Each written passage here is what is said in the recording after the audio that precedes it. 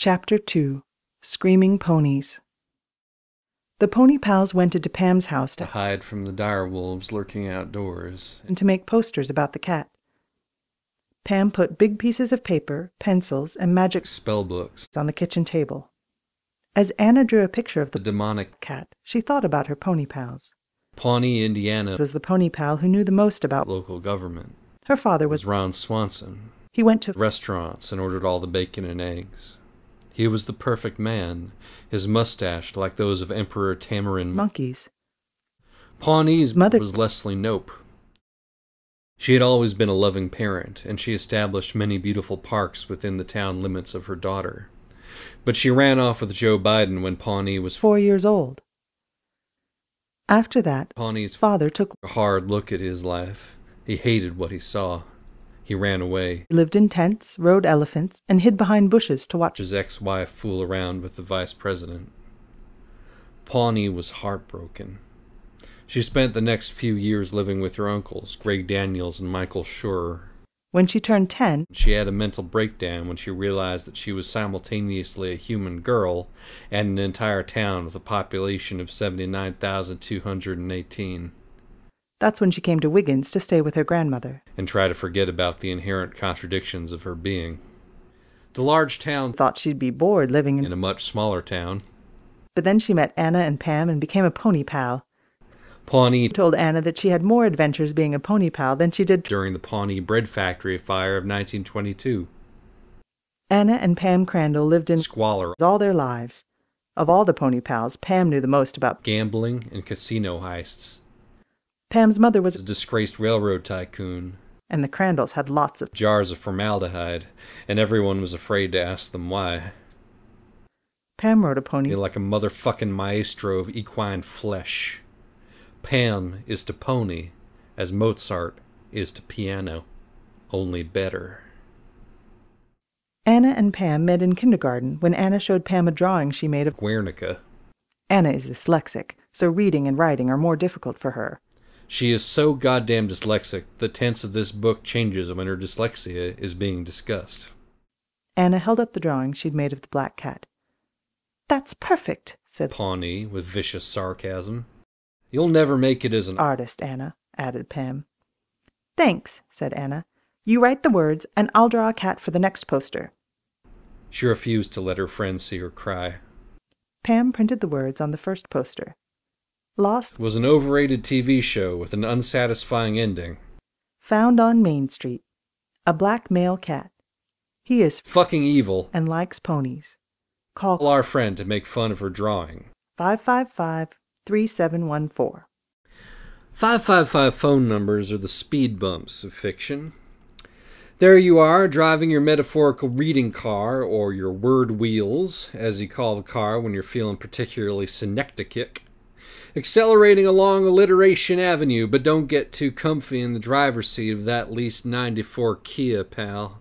Because you're about to get forcefully unimmersed from your literary experience by that patently fake phone number.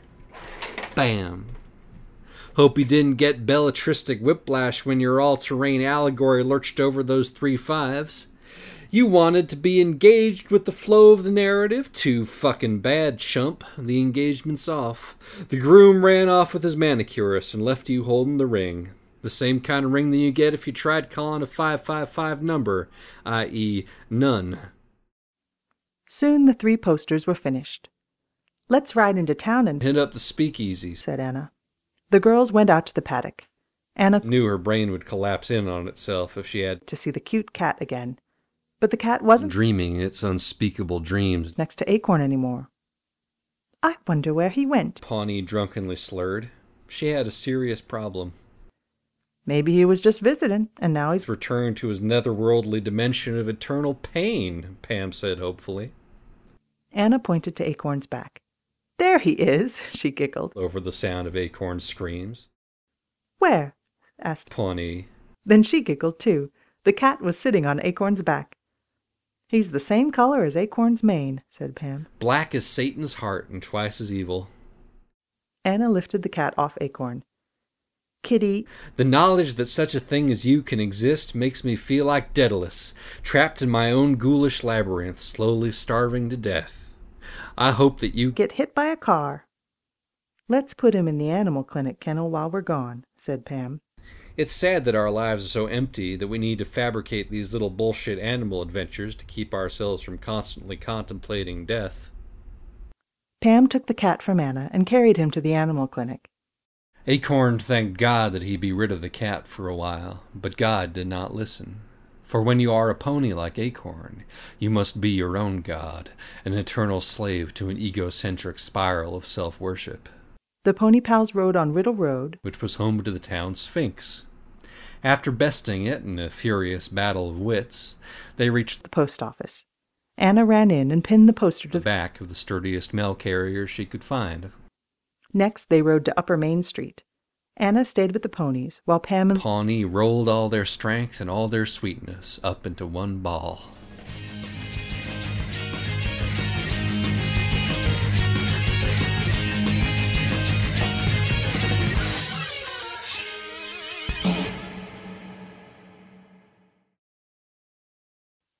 The last stop was Complete bullshit. Pam held the ponies while Anna and Pawnee did their insufferable lost cat shtick. Fuck.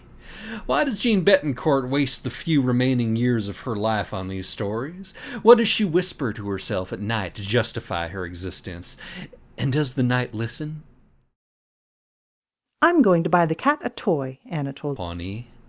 Maybe tempting the cat's playful spirit is the key to banishing the twisted energies crackling within its veins. Sure, said Pawnee, in the manner of a widow who has nothing left to lose, not even her sanity. Anna led the way to the pet section of the store. There were five different kinds of toys for cats. This is a distractingly specific and completely fucking pointless detail that contributes nothing to the story. This one Is the least irradiated. said Anna. She held it up. A red plastic ball and yellow feather hung from a long piece of wire. Pawnee, Batted the little ball with her finger. A bell tinkled inside the ball. holy fuck. Why is this toy being described so meticulously? Are we really expected to muster any fucks to give? He'll have fun with this. Pawnee croaked moistly. The girls rode back to the Crandalls. Needs an apostrophe. Crandall's apostrophe. Get your shit together, Betancourt. Anna went to the kennel room to see the cat. She held the toy above his head. He reached up with two paws to. Cast a particularly noxious spell. When the bell rang, he jumped back. Then he tried to. communicate to Anna with his unfathomable eyes that he would immolate her in sulphurous flames if she startled him in this fashion again. Anna was oblivious. She thought this creature to be merely a rank and file minion of Hades. This underestimation would eventually prove fatal, and worse.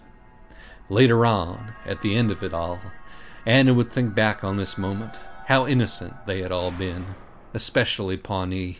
Dear sweet Pawnee, she deserved this least of all, Anna would think, in that abstract future moment, when Anna, Pam, and the whole world were poised on the edge of. And then again, perhaps Pawnee deserved it more than any of them. There were six other animals in the clinic. Brandy, the German, Soldier of the Great War. was sound asleep. He had a big bandage around his belly. He looked so peaceful, curled up around his gummy mask and clutching his Luger like that, Anna whispered to herself. And the little spike on his pickelhaube is adorable.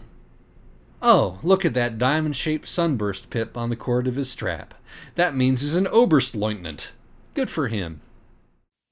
Anna lifted the cat out of his kennel and carried him outside. Acorn Was reciting the names of the old gods in order of least to most tentacled near the clinic. When he saw the cat, he whinnied. maliciously. The cat leaped from Anna's arms and ran over to Acorn. God averted his eyes, knowing what was soon to come. The cat stayed in the paddock with the ponies while the girls went in for dinner. The moment Anna's back was turned, Acorn trampled the cat like nobody's business. Acorn had already killed the cat once and was ready to do it as many more times as it took. Maybe this cat had nine lives, maybe nine million, but Acorn was patient. The cat couldn't keep coming back forever. It's fun to have a cat, thought Anna. Acorn hopscotched all over that fucker. He was like a steamroller whose drum had just been reforged into four glorious hooves, and who hated cats more than Nikola Tesla hated the voltage leeches that lived in the pond outside his crystal electro mansion. After nearly a minute of trituration, Acorn looked proudly at the pulverized kitty curdles beneath his hooves.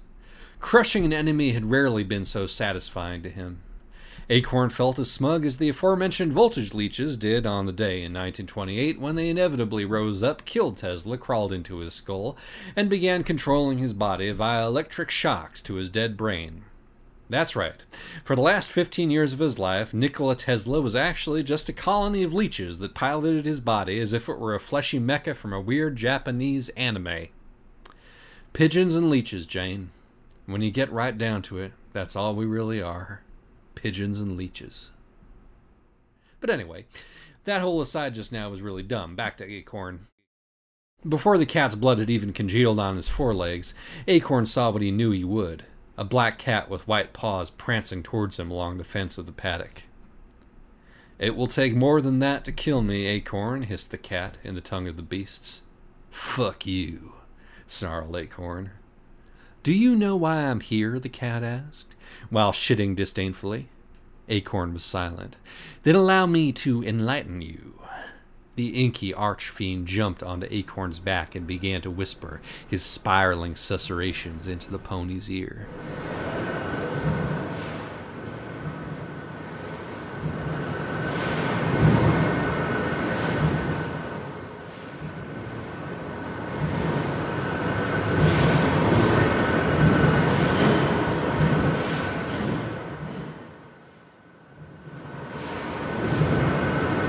Suddenly, Anna woke up.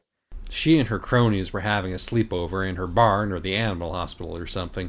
That's what happened in those boring as all fuck paragraphs up there that I pasted over. What the ever loving fuck Woke me up, Anna wondered. She heard pounding hooves and screeching ponies. She jumped out of of the sliced open tauntaun carcass in which she slept. Pam! Pawnee! Anna shouted. Wake up! Something's wrong in the paddock. Shit just got real.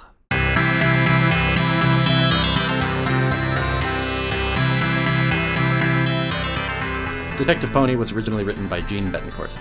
The first two pages were altered by Andrew Hussie, pretending to be Dirk Strider. The rest of the pages were altered by sonnetstuck, also pretending to be Dirk Strider. The book is read by Duckface as yet another person pretending to be Dirk Strider, and Naked Bee as Jeanne Betancourt, a fourth character who may or may not be Dirk Strider. This recording was instigated, perpetrated, and assembled by Naked Bee.